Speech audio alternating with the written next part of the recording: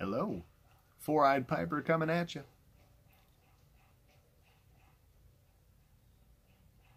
It's a beautiful day today. It is warm, and by warm I mean 35 degrees, which means no coat for old Zach. And uh, I'm feeling okay today. Yesterday was not a good day. Today, feeling a little bit better. I got a little bit uh, more wind in my sails here. Uh, not feeling so much pain. Uh, so I'm out here enjoying a pipe. And uh, you'll notice I'm smoking a Falcon pipe, which uh, is unusual for me. I don't usually smoke this, but I love this pipe. It is probably the best smoking pipe um, that I have in my collection, I'll be honest with you. I've never had a bad smoke through this, and you can put anything in it.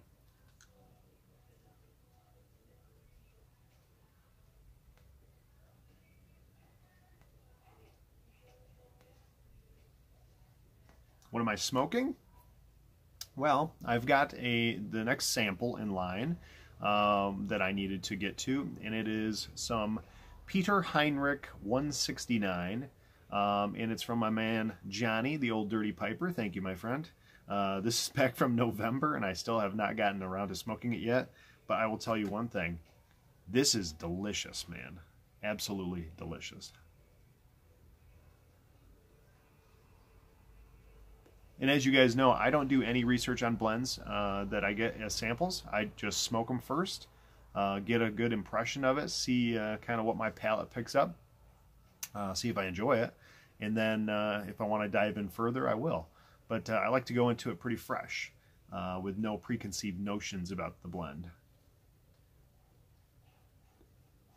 Mm.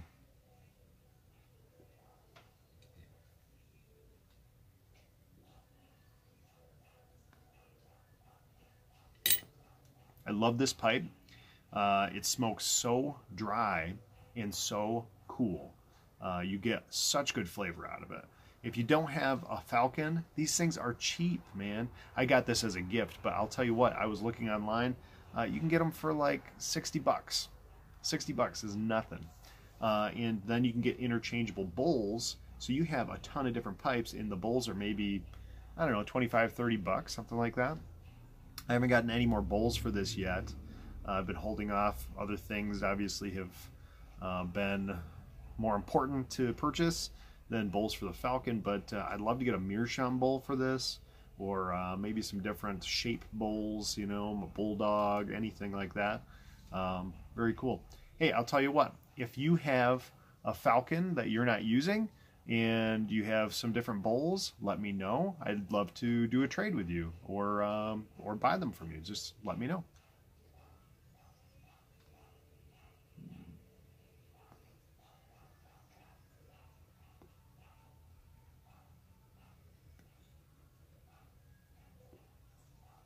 This is awesome.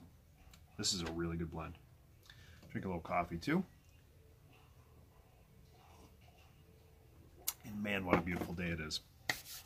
Um, a couple things I wanted to share. A few projects that I'm going to be working on here.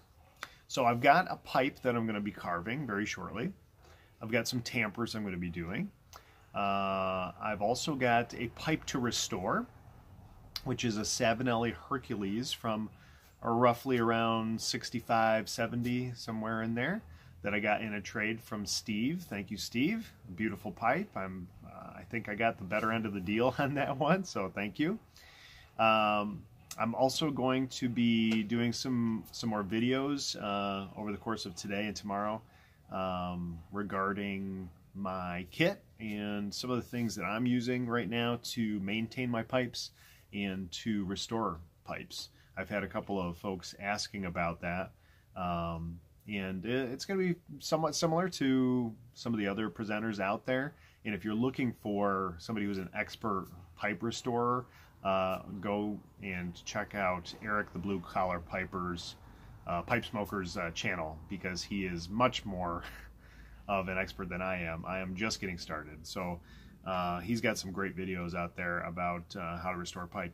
And then also Road Glide Sully. Fantastic. He's he's got a wealth of knowledge and uh, great channel, man. He's he's so funny. Uh, definitely a great guy, and Uh, we've been going back and forth a little bit on lives and stuff like that. Just a nice guy, has a ton of knowledge. So.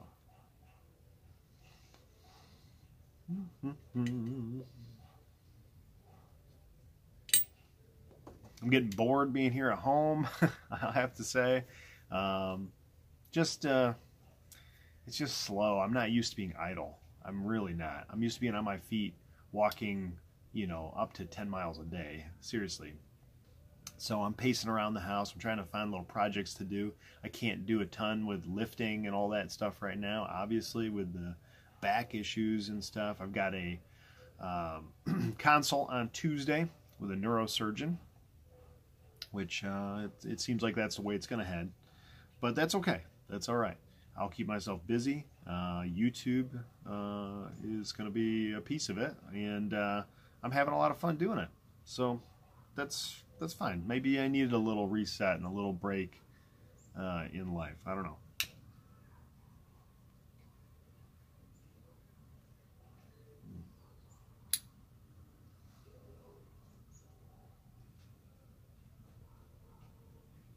Man, that's good, guys. That is so good. This is the first Peter Heinrich blend that I've ever had. Man. Uh, I also wanted to show you guys, uh, I went to, well, to preface, we live in a very small town. Um, not much goes on here. There's really not much, here. there's no tobacconist, obviously. There's no, there's really no uh, antique places to go to except for one that's, all right.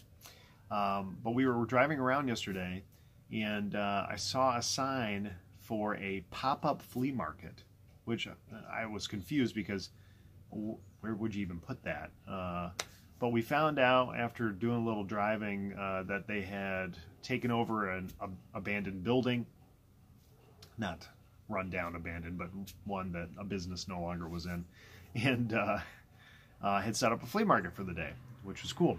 So I got excited. I thought maybe I'd go in there and find some pipes um, or some paraphernalia but uh, I did not find any pipes. I did, however, find a couple of really cool antique tins that I wanted to share with you. Uh, this one, which is pretty cool looking. I love it. I love it. Both sides are a little different. The gold is really cool on that. So I thought that was cool. Flying Dutchman. One you don't hear about. And then look at this one. That's awesome. This is my favorite. Edgeworth. I've never had any kind of uh, any of these blends before, uh, but I thought that was a really cool tin. And then you open the sucker up, and on the inside has all this really cool stuff. So I thought that was neat, and uh, you know I can kind of clean them a little bit if I need to, and I can store my tampers and softy bits and maybe some lighters or whatever in them. Uh, but I thought those were pretty cool. I got them for Got them for $3, so uh, kind of neat. Anyway, that's all I've got for you for right now. I don't want to make this super long. I've been making long videos lately, and uh, uh, I think people are kind of tuning out a little bit. Um, but I will be back later with some more videos and, uh, and some updates on some projects. All right, guys. Good to see you. We'll check you later.